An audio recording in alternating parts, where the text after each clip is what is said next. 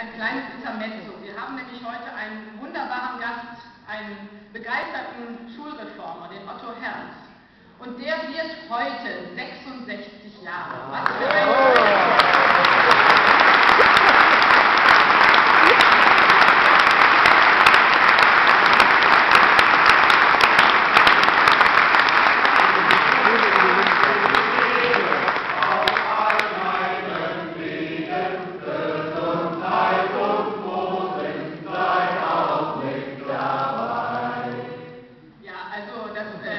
uns in der Fraktion wird auch immer gesungen. Ne? Das Kinder gibt manchmal sogar im Kanon. Wir wollen es nicht unnötig verzögern. Aber Herz, äh, ich freue mich wirklich sehr, dass du trotz oder wegen deines Geburtstags bei uns bis heute mit 66 Jahren, da fällt mir natürlich Udo Jürgens ein, du hast schon 66 Jahre für gute Bildung gekämpft.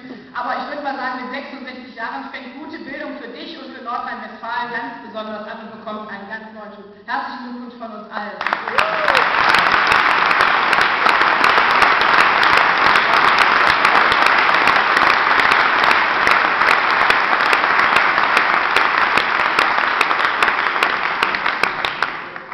Wir kommen zur Keynote, Lernen neu denken.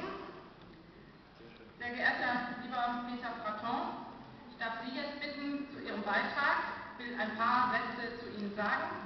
Reformpädagoge und Schulgründer. Peter Fraton gehört zu den renommiertesten Schulgründern und Schulinnovatoren Europas. Er gründete 1980 das erste Haus des Lernens in Roman In der Zwischenzeit gibt es weltweit zahlreiche Schulgründungen. Herr Fraton ist selbst Lehrer und wurde für seine Arbeit mehrfach ausgezeichnet. Die strategische und operative Führung seiner Häuser des Lernens hat er inzwischen abgegeben. Peter Fraton begleitet heute Schulprojekte, die sich an seiner pädagogischen Philosophie orientieren.